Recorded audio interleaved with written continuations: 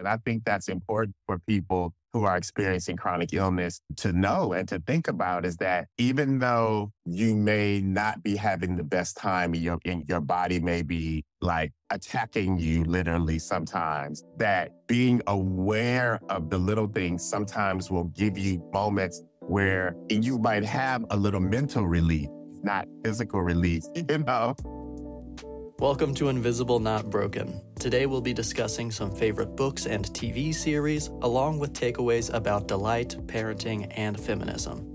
Our host Monica is joined by musician, chef, and activist Dione Bullard, who lives with end stage renal disease.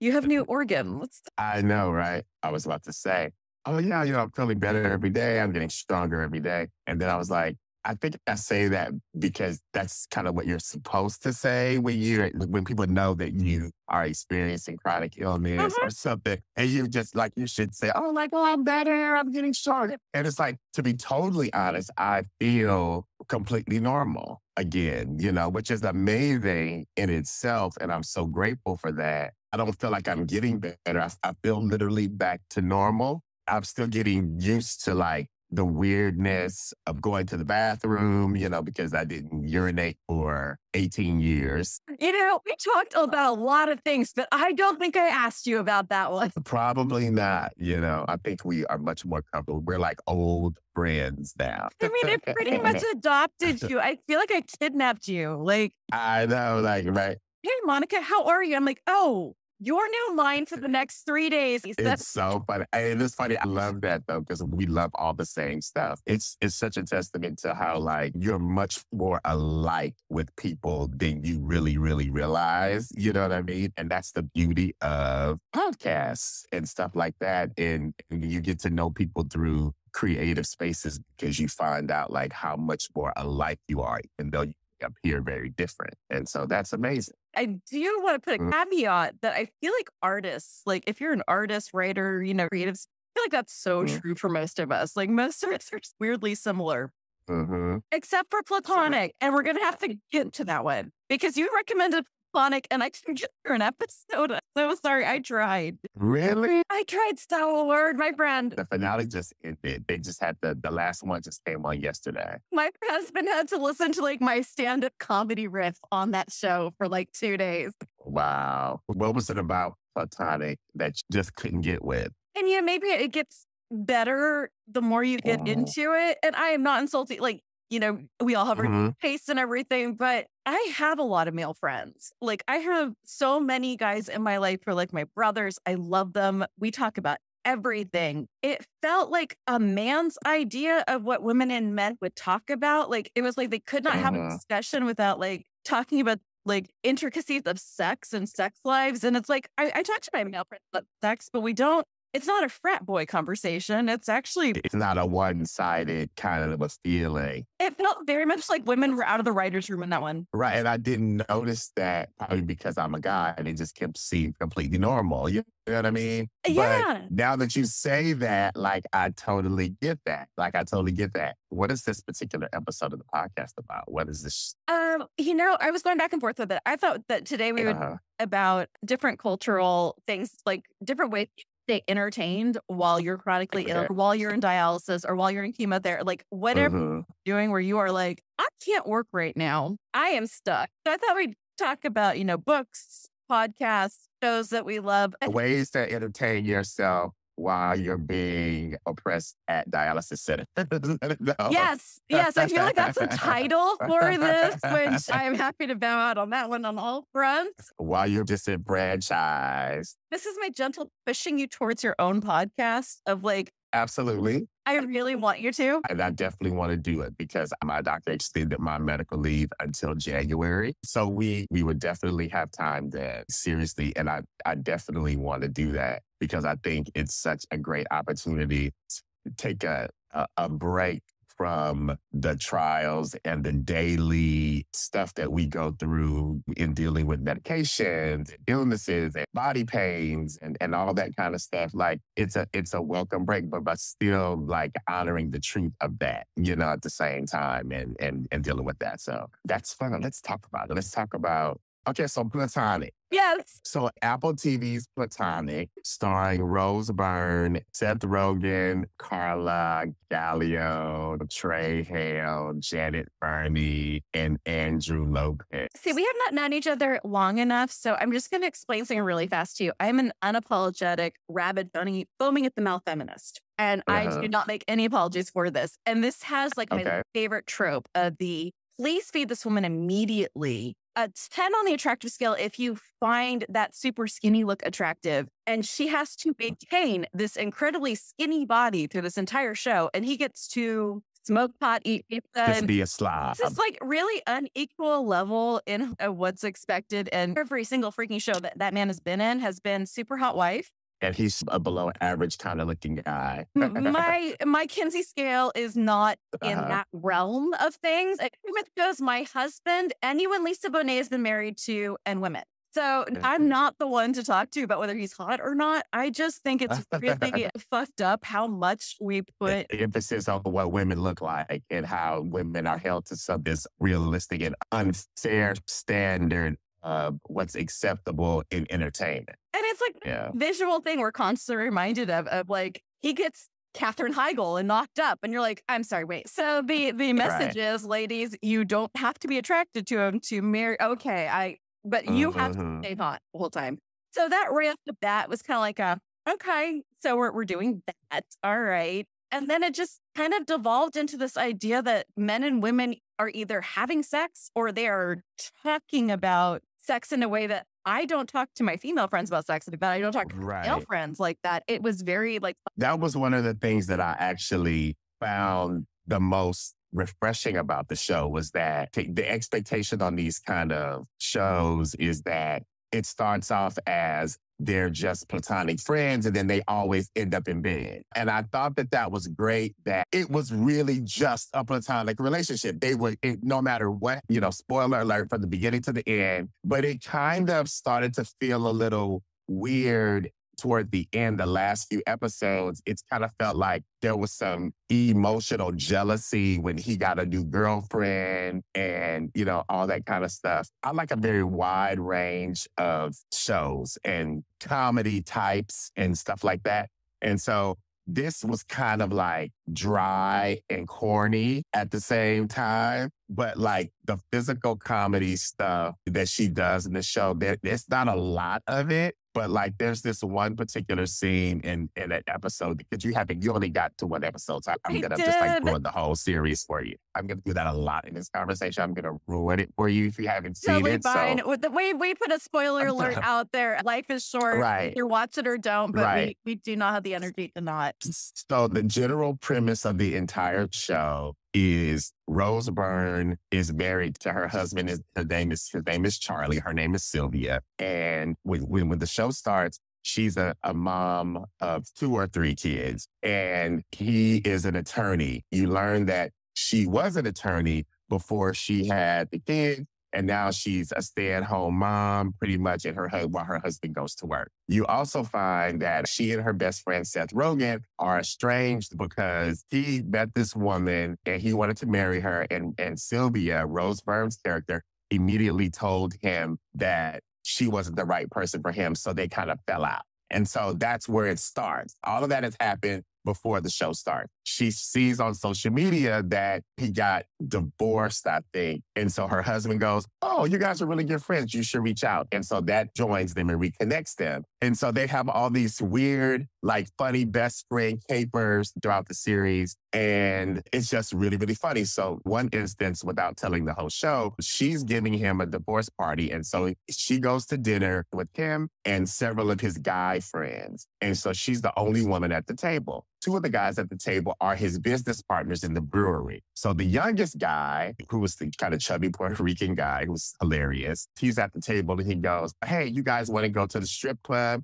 And so she's like, No, I don't want to go. You guys just go ahead and go. And then he goes, I have something that'll make us have a wonderful time. And he pulls up this baggie of cocaine. Thank you. You really just like highlighted most of what I did not enjoy about this I mean, like the only thing you did not touch on was that she says that she's working at the law firm because she helps her husband, and that just annoyed me to no end. I was like, wait a minute, honey, there is nothing wrong with being a stay-at-home mom. Like stay-at-home mom yeah. is awesome. Like that is huge work. Own that one. Like, or go back to working. Like you do what you need to do. Throughout the series, she does that. She goes back to work. I, am glad to hear it. There's it just really felt like there was not a woman in the writer's room, and that the like it yeah. just I, I might be wrong about that. I haven't checked, but you need to tell me like what your comfort show is. Like, do you have like a show like when you are just feeling like hell? I have like five shows I've watched like 30 times all the way through. You know what? What's funny and what's interesting, I don't watch things twice. Really? I won't watch it twice. Oh my God. I don't even like watching movies twice unless it's been a long time. I am learning so much about you. It's so funny. and, and you know, I just in my journey to self realization and analyzation, I realized that I don't like to repeat shows. The only time I'll repeat a show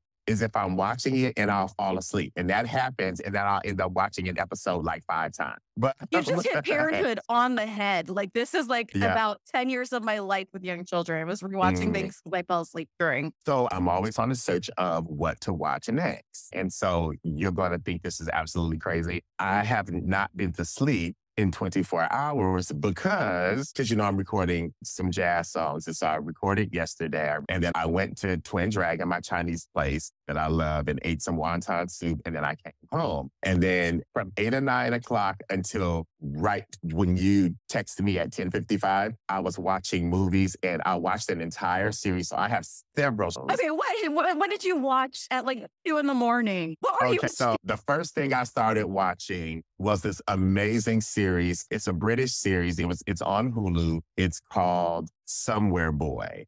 I'm gonna write that down. No, you should. I'm serious. You should totally be taking notes, and all the listeners should know because I'm telling you. So this was 2023, just came out this year. I'll give you the synopsis without ruining the entire show for you because you're gonna watch it, and once you start, you're not gonna stop. I watched it all the way through this morning, so I'm just gonna give you a quick overview of the show you meet Danny and his dad. When you meet Danny, Danny is about six years old and he's living with his dad. What you discover is that his mom died when he was a small child, a very small child, like maybe a few months old. His father, they live in like a, a remote area in the British countryside, somewhere, the English countryside somewhere, in a house that surrounded a wooded area. And he does not let Danny go outside at all under the guise that there are monsters out there that will kill him. I think we're getting into mental health issues. No, listen, I'm, te- I'm telling you, it's sad and beautiful all at the same time because I think it illustrates the struggle that that parents have. Not that I would know because I don't have kids, but that parents have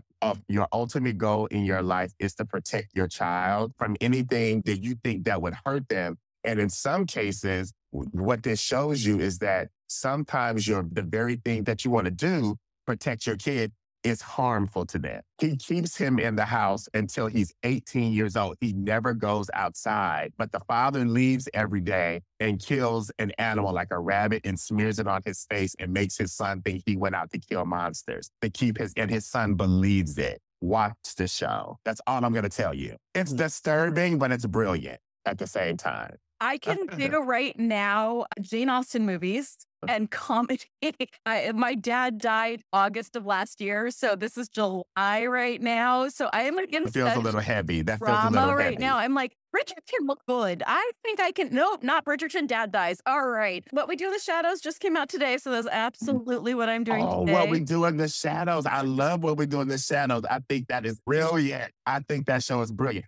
Could you not rewatch it? I have rewatched that whole thing four times. I can't rewatch it. Like I have to watch the new season. But listen, okay, so something okay. that's a little lighter. It's on Amazon. It's called I Am a Virgo. Much, much more light. It's about a, well, wait, now that I think about it, it's kind of the same thing. It's exactly the same show almost. Wait. Are you having a moment after lockdown where you're like, I don't no, know about no, this lockdown funny. thing? No, it's funny. No, it's funny. I'm laughing because I didn't realize that it's almost the same premise, but it's lighter and it's, it's fantasy because he's born as a giant baby and he grows to be 13 feet tall. It's modern day Oakland. Wow, that's my town. He's a black kid from a black family and he grows to be 13 feet tall. And his mom and dad hide him away in the house. And then he discovers other people and then he goes out into the world and he realizes that they were really just trying to protect him, but they were lying to him. Well, they weren't really lying to him because they were saying that everybody in the world is not as nice as us. You're a giant, you're a huge person. And so the world is going to try to exploit you and take advantage of you. But the whole show is a very light, it's a comedy. It's not a drama. It's not heavy. It's not all of that at all. It, it, it, it is a safe watch. Nobody dies. Nobody, you know, gets killed. It has some Oakland activism in it. And it has, oh, okay, even better show. The Righteous Gemstones is back. Oh my God. That is a ride and a half. I was not bored a single moment during that show. My favorite character is Judy Gemstone by far. I love her husband. Her husband cracks me up. Her husband is such a lame. He is hilarious. I love all of it. I even love the flashbacks because the younger versions of them was spot on casting because those younger characters act exactly like their older counterparts, like they studied them. I'm just done with Max at the moment. I, mm-hmm. I letting it go. I watched mm-hmm. the Sex and the City reboot because I was that bored. I'm not a Sex and the City person at all. I'm not even interested in that in, in the least.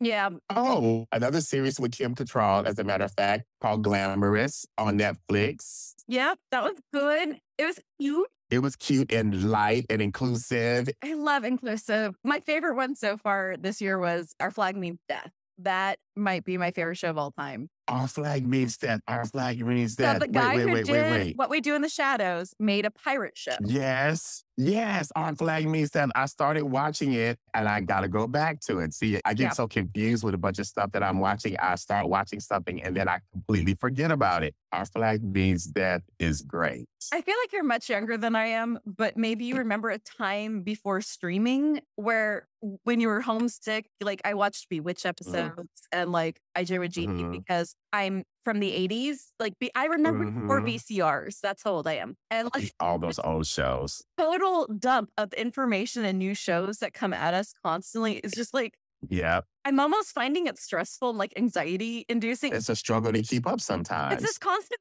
FOMO. I'm like, I don't even work anymore and I have FOMO. What what is that? Right. Like too much. And so you find yourself finding comfort in those old familiar shows. That's um, right. Like Addams Family. You know, my daughter and I. Addams Family, of course. So here's where you're going to differ because I have the like ear set because I have a 16 year old daughter. And uh-huh. that child called out stuff. My husband are like, oh God, we were kind of from the 80s and we didn't hear. Oh, yeah, you're right. He should not have punched the wall by her head and then kissed her. That was not romantic. You're absolutely right, honey. Oh my God, we're going to turn right. off Star Wars now let's Breakfast Club. And so I thought, right. like, oh, well, yeah, I remember Bewitched when I was a kid. Let's watch, you know, eh, we have, but since she's been little, I've been sick my whole life. And I got really sick right after she was born. And so we have what wow. we uh-huh. darling slug days where we curl up in bed. We have our like iPads and like the kids would just snuggle in the bed with me and we would just do crafts on the bed and watch shows. And mm-hmm still I have lots of days in bed. So my 16 year old curls up with me. I'm like, oh, it'd be so cute to watch some of the shows I watched when I was homesick when I was little. And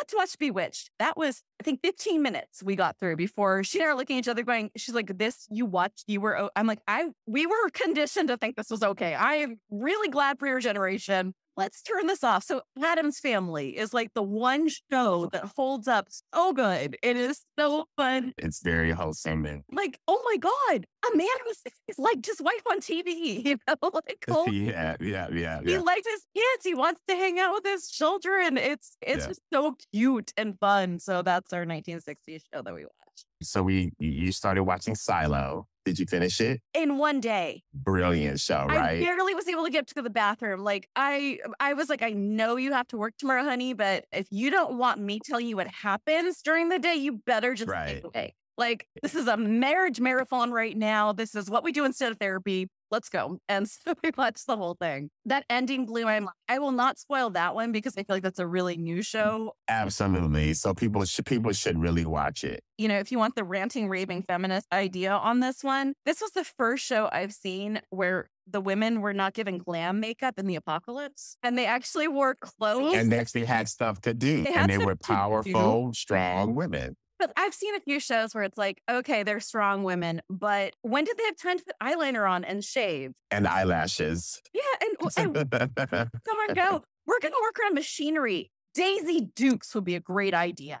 They, everyone was like actually actively dressed for what they do. If you're looking hot people, I mean, like it was a bisexual's dream for, oh my gosh, that's a lot of pretty. Mm. It was pretty gorgeous, amazing, smart, and never insulted anyone. I didn't feel like the writers or the people who cast hated a group of people. Right, and the ending right. was gag worthy. Like I think that our neighbors thought we were watching the Super Bowl from all the, oh my God, yes, I was in awe from episode one. I'm excited about foundation. Foundation on the 14th and also Invasion on Apple Plus is really good too. Have you seen that? I have not. So it's, it's one season in so far, but I was watching both of those simultaneously because I think when they first premiered last year, it was a dream because they were very, very close. Invasion kind of reminds you of a series like Alien, I've never seen it. but it's about an alien invasion that happens all over the world. You should totally watch it. That's all I'm going to say, but it's really,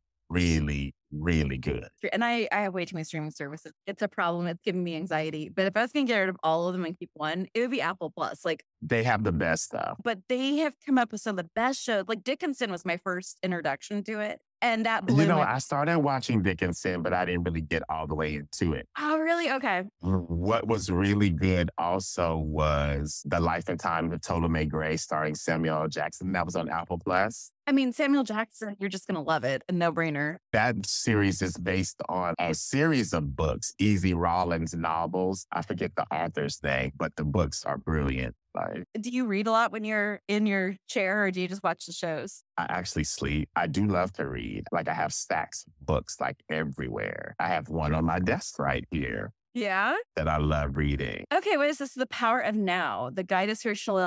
Eckhart Tolle and Do you love it? I love Eckhart. His book, A New Earth, if I go to my living room and get it, it has like post-its and dog ears and like tabs all in the book. I said I don't rewatch shows, but I will Okay. reread a book. I will reread a book. You're fascinating. Okay. especially a book that's kind of like intellectual and spiritual and self-developmental aspects to it, like the Eckhart Tolle books. A New Earth talks about how to release your ego, your personal ego, and around awareness and self-awareness and stuff like that. And so it's excellent, excellent, excellent. It's excellent series of books. I, I discovered it when the Oprah Winfrey Show was still on. She did an entire classroom series on the book, A New Earth. I will be picking that up. I just read something like the series of delights. Uh, it was written by a poet, and I don't have anything that I can just look it up right now. But I've always been like, no on the self help books, like just absolutely not. Uh huh. Really? I've been around too many women in the Silicon Valley where it was very like a lot of bullshit. Like it was a lot of snake oil. Hocus pocus. Yeah, I mean,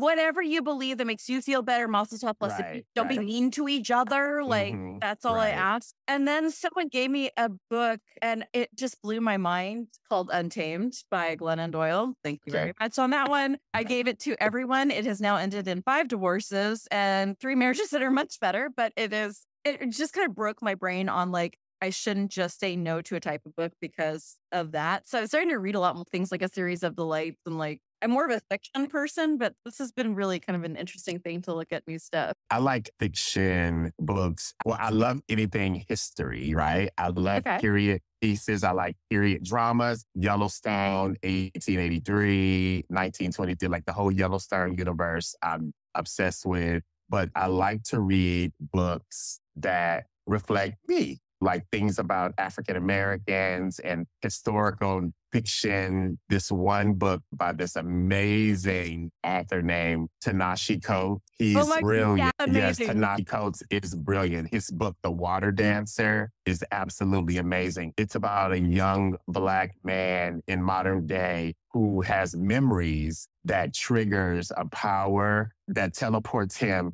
to the time where slavery was active and that power helps him help slaves escape. And it's like beautifully written. And it's not a downer slave, you know, thing. It's not that at all. And It is not even about like the crazy trauma of slavery, even though that was very real. It's not even about that. It's just a fancy magical realism, science fiction, fantasy, historical drama. It's all of that stuff all at the same time. Brilliant writer, brilliant book. So do you do like audiobook or are you pure just hold it in your hand? I love to hold a book in my hand. I'm getting more into using Kindle on my iPad. I think that's amazing, especially because I'm getting, I feel like I'm getting old and I need readers. So I need what you mean these Coke glasses here that I have here? I need them on right now. Like I need, I'm gonna go get an eye exam so that I can get the right ones. My birthday was the week before last. About eight friends of mine, we went to the Chinese restaurant I went to last night, and I was looking at the menu and I was like,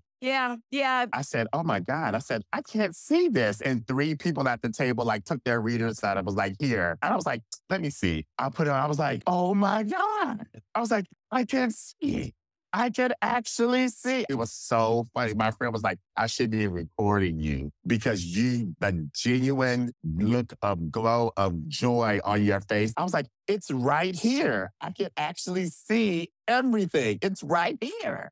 Oh my God. you know, it's crazy. I mean, you're going to have new eyesight, new kidneys. You're going to have everything brand new this year. Exactly. Brand new everything. New song. And it's like, it's a new songs. It's like a total place of joy. And that's like what life is about, especially when you're experiencing chronic illness. Finding little pockets of joy anywhere you can and grabbing them and holding on to them as much as you can because you never know, you know, we, you're doing as well as I do. You never know when the next pocket of joy is going to come and how long it's going to take to get there. You That was- know, I, mean, I read Um, that book, The Daily. Di- I'm going to find it and I swear it'll be in the show notes. Ross Gay was the one who wrote it. But Mhm. his whole thing was every single day, he was going to sit down for 15 minutes and handwrite the thing that delight, one thing that delighted him. Mhm. So, like, my husband and I were listening to the show, and I do a lot of books on tape. I like to just have it in my ear going. So, it just kind of became a thing that he and I started doing at the end of the night. Was we would just challenge each other to find three things that delighted us during the day. Like, like when I was watering, and I found like this insanely chonk bumblebee.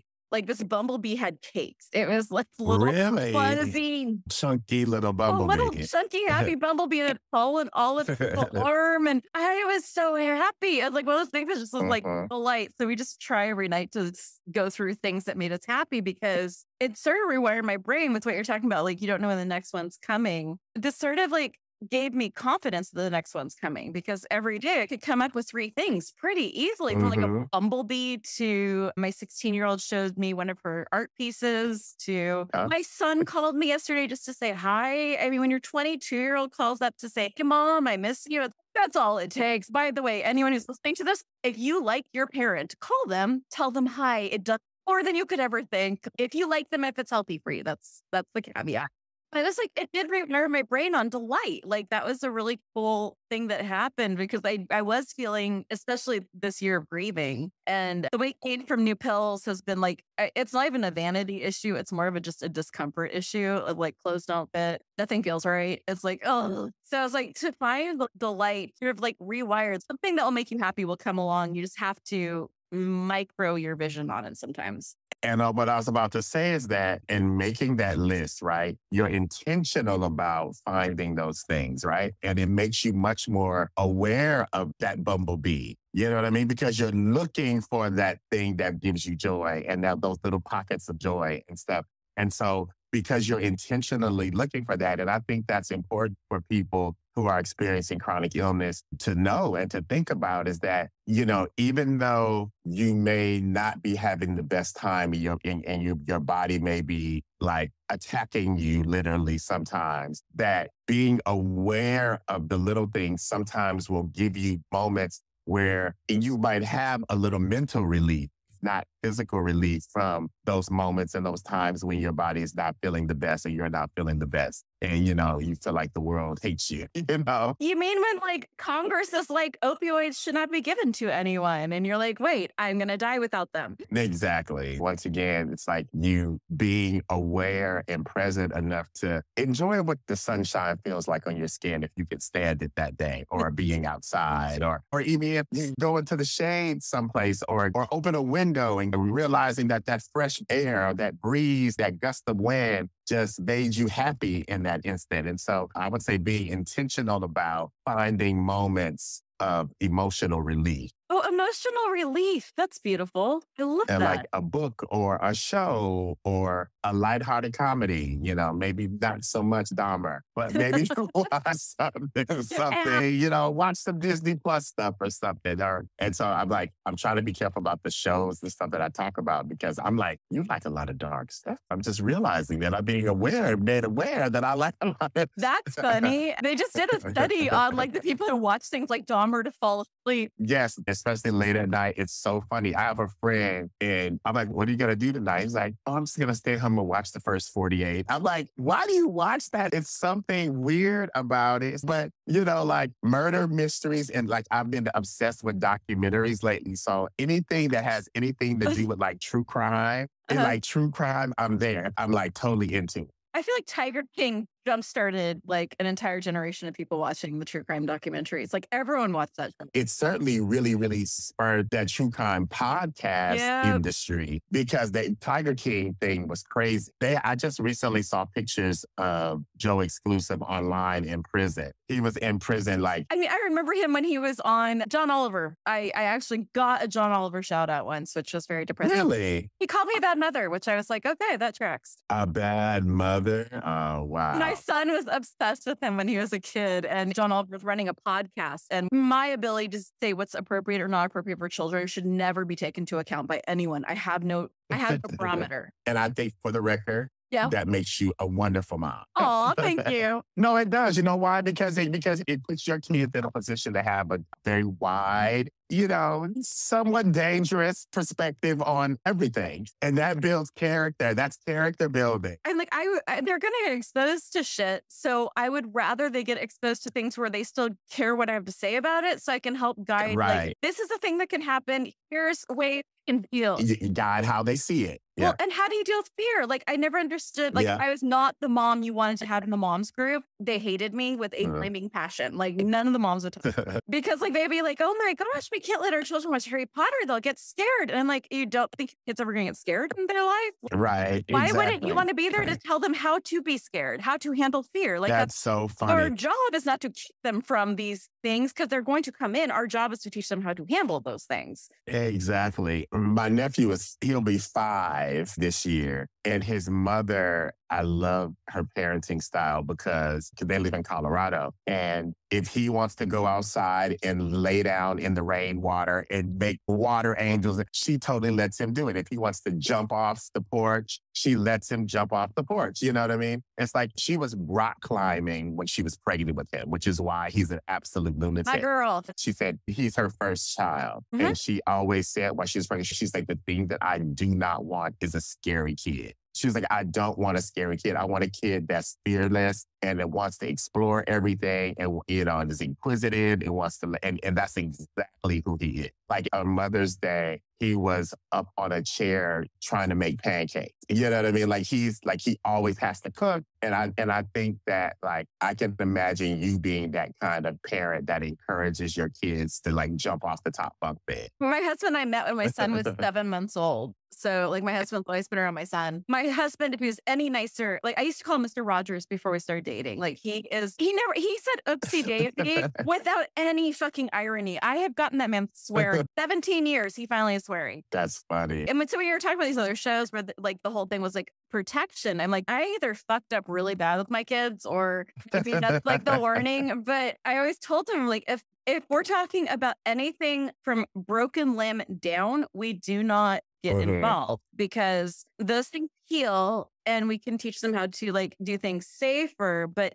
when my son Mhm. was like, walking on things, like they would only be like an inch or two above the ground. He would walk behind him like this Mhm. and I would grab him like, no. I think that in general, it's a great way to be because it teaches them maybe not that exact thing will translate later on in life, but that concept of going after what you want and not being afraid to experience new things. Yeah. And that general concept is something that they will never lose. And even though they may forget everything else you said, they won't forget those types of lessons. You know what I mean? I mean, because kids don't ever do what their parents want them to do, but they will never forget what you taught them and never forget what you showed them. You know what I mean? And so what you teach them every day is how to fucking live with a chronic illness and how let it not to take you out every day.